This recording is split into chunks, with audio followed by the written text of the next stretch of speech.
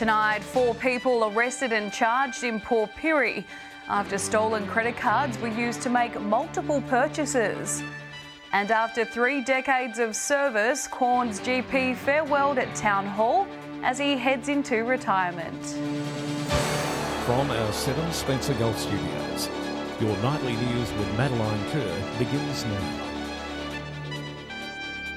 Good evening, thanks for joining us.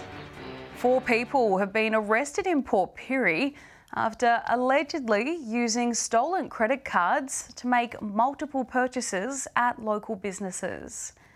Following an investigation, SAPOL tracked down four main culprits who, between them, are facing 33 counts of deception.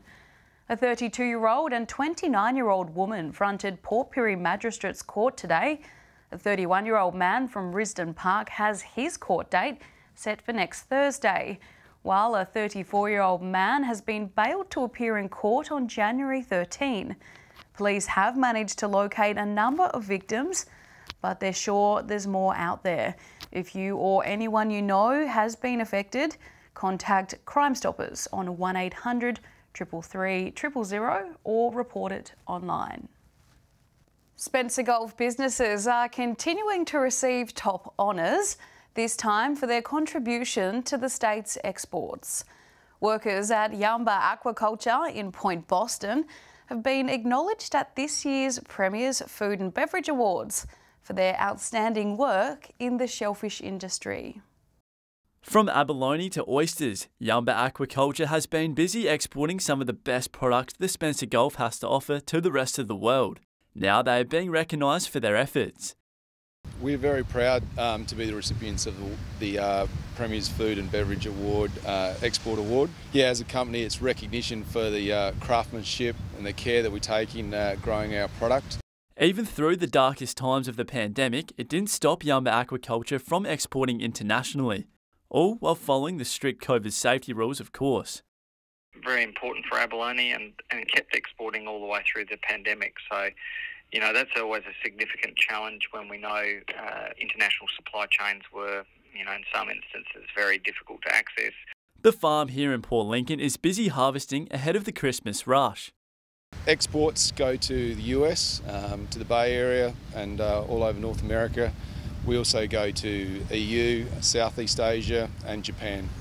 Businesses like Yamba contributed a record $15.6 billion in South Australia's exports in the year 2021 22. That supports wealth creation, it supports jobs, uh, and it keeps uh, the, whole, the whole show running. So we're really grateful to them. Yamba Aquaculture setting their sight on more than just abalone, with the goal of becoming Australia's leading aquaculture shellfish company. So this farm in particular, uh, based in Port Lincoln, is about a 250 tonne farm. As a group, we do about 750 tonnes of abalone. We also do about 350,000 dozen of oysters and about 350 tonnes of mussels. Henry Millick, 7 Spencer Gulf News. Representatives of Goyder Conservation Management Plan Advisory Committee travelled to the Copper Coast yesterday to learn more about Moonta's mining history, buildings and artefacts. The two councils hope to work together to protect and preserve their iconic sites. The day began at the Moonta Mines Railway Station, where visitors enjoyed a trip on the tourist train. We're talking about how we're going to start working together in terms of the World Heritage nomination for Moonta and Burra and so today's a bit of a familiarisation tour for people from Goyder Council and Burra to get to know the Moonta site. And there's plenty to see, from the Moonta Mines Museum to the conservation work. The Conservation Committee says the mines in Moonta and the mines in Burra have a similar backstory. Burra the same story in a way. Burra is the first chapter, and really Moonta is a, a sequel. Uh, so at Burra, that's where the first Cornish miners were working and they started um, the copper mining in South Australia. Newly elected Mayor of Goyder Council, Bill Gephardt, was excited to learn about the World Heritage process and how the two councils can work together. Aiming to finish up with with our World Heritage listing, which I'd envisage to be probably five years away, yeah. but it's in a pretty good space and it's good to work with another strong community town. The two councils will continue to work together to put the best case forward to the state and federal government for funding support. And a reminder that the Christmas Lights tram tour will begin Monday the 12th. Annabelle Francis, 7 Spencer Gulf News. Quorn's long serving GP has officially retired after 30 years of serving the people of the Flinders Ranges. Self described as one of the last old style country doctors, Tony Liang Lloyd fought for years to keep regional health services afloat. A huge turnout at the Quorn Town Hall on Thursday night to say thank you to a local legend. Dr. Tony Liang Lloyd hung up his stethoscope after running GP services in Quorn since 1992. Now it's time to retire in style. I come from a background out of horses and the land, so I've got a small property here in Quorn, and uh, that'll keep me busy until I die. Flinders Ranges Mayor Ken Anderson paid tribute to Dr. Tony in one of his first official duties as mayor. Pretty well legendary around the region, uh, not only in the in the two towns in the district. Yeah, look, it's um, a really good send off, one of many, I'm sure. So we're uh, we're very happy to be able to put it on for the community. Sadly to say, I'm probably one of the last of the old style country doctors. Um, yeah, we need to keep vigilant and alert and maintain our hospital services in small country towns. Dr. Tony has also spent years advocating for regional health services in Quorn, especially when they were under threat from cuts. You need a hospital to work out of. You need to be able to do procedural work uh, to make it uh, economically viable. So the hospital needs a doctor, the doctor needs a hospital. It cuts both ways. A locum service will be in place for a short period before the new permanent GP service is up and running. Daniel Pizarro, 7 Spencer Gulf News. Still to come tonight, cans for cash in the far west. New South Wales Return and Earn scheme marks a milestone. And making Leigh Creek more inclusive. New signage around local walking tracks now featuring two languages.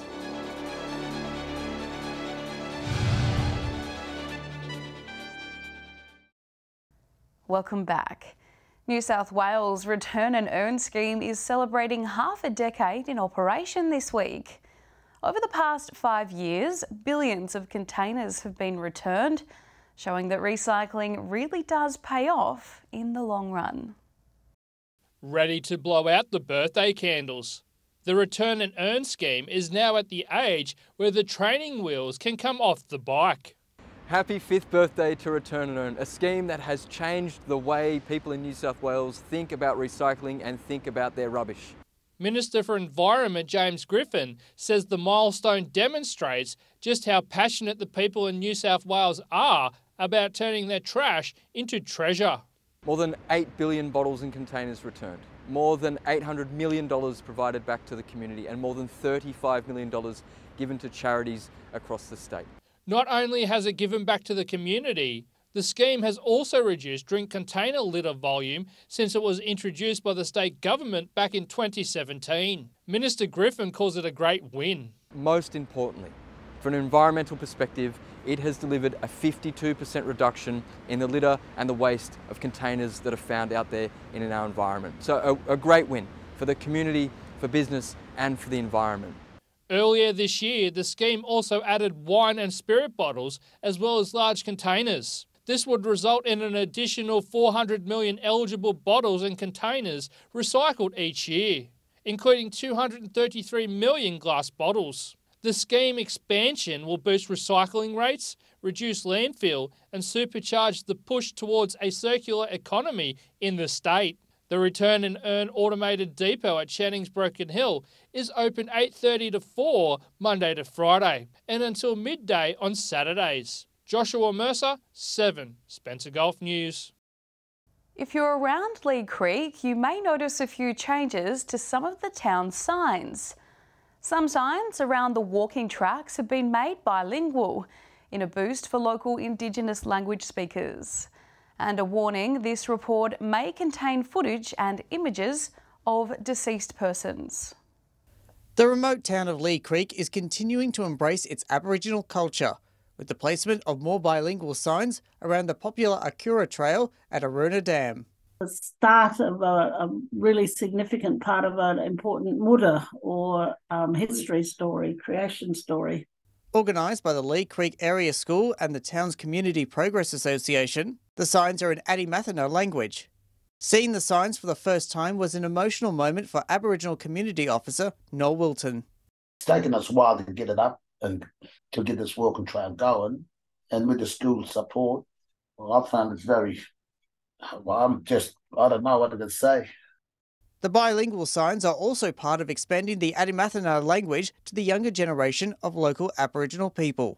Adnyamathanha is a revival language, means it's spoken by some of the elders, but not by the young people. And so the students are really valuing the fact that they are able to learn their own language um, as a part of their school curriculum. Noel hopes other towns like Port Augusta and Roxby Downs will look into adopting bilingual signage in some areas that'd be good to see that sort of thing happening in them sort of places. Daniel Pizarro, 7 Spencer Gulf News.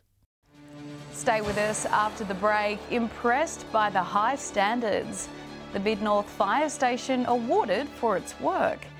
And it's a rite of passage for most Aussie authors.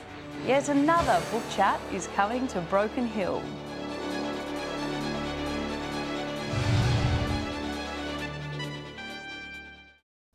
Welcome back to 7 Spencer Gulf Nightly News this Friday. Four regional MFS stations have come out on top after being assessed in things like safety, rescue, and incident responding. Kadina residents will be reassured to know they're in capable hands, with their home station taking out the top prize. Kadina MFS officers have a long history in the workforce and say it feels good to be acknowledged. There's about 200 retained firefighters in the state, and this year we've knocked them off. I've been uh, with Metropolitan Fire Service for about 40 years. I've spent most of my time in Metropolitan Adelaide fire stations, but I, have re- recently um, transferred to regional operations. Michael says working in the regions comes with added challenges and rewards, as regional firefighters have full time employment outside of the MFS. It's great to see their commitment and passion uh, for the MFS because they respond in their um, spare time. And the officers definitely aren't lacking in the fitness and skills departments, coming first place in the annual assessment process. A vehicle had uh, impacted on a building and uh, electrical uh, cable had fallen across the vehicle. So the crew had to deal with a very complex exercise. Kadina MFS is currently recruiting and encourage anyone interested to take action. It's actually been a fantastic way of life, and um, yeah, we've actually got to thank the employers of the of the crew as well, uh, the wives and family. It's a huge commitment by them. For more information, visit the MFS website. Annabelle Francis, 7 Spencer Gulf News. Author Geraldine Starr is heading back to Broken Hill. Kind of. The storyteller spent time in the far west while researching her new book and has organised a virtual meetup to discuss the riveting content between the pages. Inspired by the outback and where she grew up, author Geraldine Starr hit the road to research her new book, She Oak. Having lived in the uh, on near the Hay Plain, I could see the beauty of the landscape and how it sort of gets into your soul. Described as adventure, the story sees two people on a road to redemption. They travel across the Hay Plain, through Broken Hill, and onto Adelaide. The author wanting to break stereotypes. Because in the past, women on, in the country were invisible and their role was not out there. But now there's a lot of women farmers. Ms. Starr enjoys studying the landscape of the far west and writing about her hometown. The research was wonderful, and especially when I went to Broken Hill because I love Broken Hill. And Broken Hill, as um, for me, is a quirky place. Fellow author Julie Jansen will be the moderator for the event, and someone Ms. Starr knows well. We have been a member of um, a group, a writers group, and we have been giving feedback to each other over a, a number of years now. The event takes place Thursday, December 8. You can get tickets through Eventbrite, or for more information, contact Broken Hill City Library. Joshua Mercer, 7 Spencer Gulf News. Stay with us after the break. Our local cricket experts tip who they think will win this weekend. And temperatures in the 40s. We'll have the weekend weather details with Alex Sykes.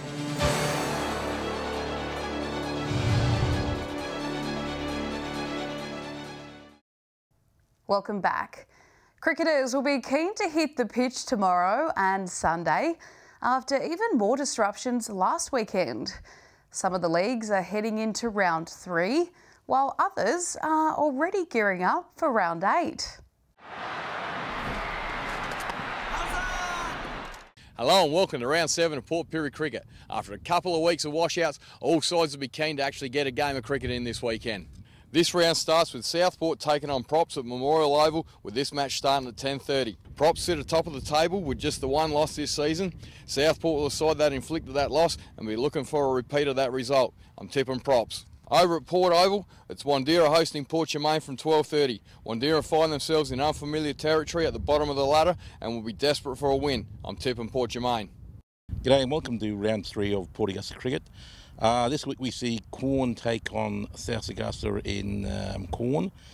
This will be a very good match. Quorn, uh, yeah, Quorn have always been up there, but I'm going to lean towards South Augusta to win that match. The other match sees uh, West Augusta take on uh, Centrals at Etzer. Uh, Westies uh, yet to win, so I'm going to lean towards uh, Centrals to win that match. So there are my two winners, South Augusta and Centrals. Excellent game of cricket in Broken Hill this weekend with undefeated sides North and West uh, meeting at the uh, Jubilee Oval. I suspect North's batting depth is a little bit better than West, but that West have done a uh, mighty job this year to remain undefeated. So I think it'll be a very close contest, but I think uh, North's batting depth may see them over the line and they should go on to remain undefeated and perhaps set themselves up as favourites uh, for this year's premiership. In the other game, obviously uh, two sides that, that haven't won a game as yet in uh, South and uh, Centrals. Someone will be happy at the end of this game, um, but I suspect it may be Central because South are yet to prove that they've got the batting line up uh, to uh, post a winning score. Welcome to this week's cricket tips. This week sees Waybacks travel out to Wangary to play Southern Air South. Southern Air South should be too strong in this game after absolutely annihilating Charlton last week. And in the other game, it's Tasmans and Tod River on Centenary. Tasmans uh, should be too strong in this match. They've uh, been playing some good cricket. Tod River yet to win a game, and I think Tasmans will be too strong in this one. Thanks for listening to the Portland Cricket Tips. Always a pleasure, Andrew. Thank you. Well, time now to take a look at what's happening in the weather with Alex Sykes. Alex, it's starting to heat up. It sure is, Maddie. Temperatures in the 40s are forecast in places like Wudinna, Whyalla, Port Augusta and Coober Pedy. But as for today, it was just about picture perfect. Blue skies across the region, not too warm or too cold. Whyalla reached 30 degrees this afternoon. 32 was the top in Port Pirie, 31 degrees in Cleve. Looking more broadly at today's weather map now is around 33 in Port Augusta, 34 in Wudinna. Broken Hill reached 29 and a half at around a quarter quarter to three. Bit cooler in the capital today, 23, 24 in Port Lincoln. Taking a look at the satellite image now, a low pressure trough is set to move over western waters late Saturday, then across the remaining South Australian coastline on Sunday. A ridge of high pressure will follow the trough and remain across waters to the south of the bay for most of next week. Moving on to tomorrow's weather outlook now, and we'll start with the Gulf waters. Northeasterly winds 10 to 15 knots, seas below a metre, and south to southwesterly swell around a metre. Port Lincoln sunny and 30 degrees tomorrow, down to 15 tonight. A bit warmer in Cleve, 36 on Saturday. Wudinna will be just shy of 40 degrees, a sunny top of 39. The Steel City will be a balmy 34 degrees tomorrow. Warmer in Port Augusta, 38. Kadina a sunny top of 34 to start the weekend. 36 is forecast for Port Pirie after an overnight low of 17 tonight. Clare set to reach a high of of 32 degrees. Light winds around Broken Hill tomorrow 33. Possible shower and storm in the Silver City overnight. Taking a look further through the week now, starting with Sunday's forecast, and it's set to be 42 degrees in Port Augusta. Port Pirie also set to crack the 40s. A windy top of 39 on the way for Whyalla, 39 in Wudinna as well, but with partly cloudy conditions. Sunny and 39 in Coober Pedy, 35 in Broken Hill. Moving on to Monday's outlook now, and a pretty dramatic shift compared to Sunday's temperatures. Just 23 in Whyalla, 26 in Port Augusta and Port Pirie. Kadina partly cloudy and 24. Port Lincoln partly cloudy as well, 20 degrees. 27 in Wudinna, 37 in Coober Pedy. And finally, taking our first look at how Tuesday's looking. Sunny in Broken Hill, Port Pirie and Kadina temperatures in the mid to high 20s. 21 in Port Lincoln, 25 in Whyalla, partly cloudy and 30 in Port Augusta and 38 in Coober Pedy. And that's all the weather from me for tonight. I'll see you soon with an update. It's back to you, Maddie. Thanks for that, Alex. And that's the local news this Friday. I'm Madeline Kerr. From all of us here, thanks for joining us. We'll see you Monday for our final week of the year before returning to your screens in January. But I'll have updates a little later. Until then, enjoy your evening and your weekend. Good night.